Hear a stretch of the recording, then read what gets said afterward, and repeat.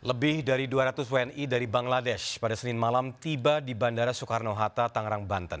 Mereka wajib mengenakan alat pelindung diri APD karena Kemlu RI mendapat informasi banyak WNI terindikasi positif COVID-19 pada pemeriksaan awal. 160 WNI merupakan jamaah tablik akbar yang digelar di Bangladesh dan sisanya pelajar dan pekerja migran.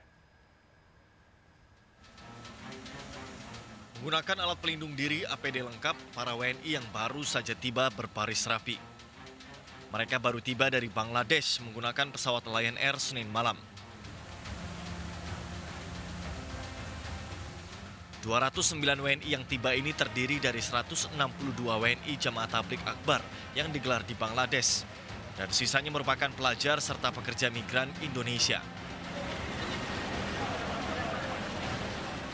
APD diharuskan dipakai karena Kemenlu mendapatkan informasi bahwa di Dhaka banyak WNI terindikasi COVID-19 pada pemeriksaan awal.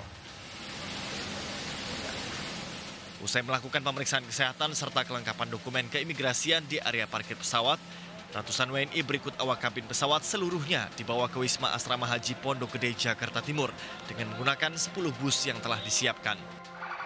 Mereka akan menjalani pemeriksaan lebih lanjut dan karantina di Wisma Asrama Haji Pondok Gede. Tangerang, Banten, Hasnugara iNews melaporkan.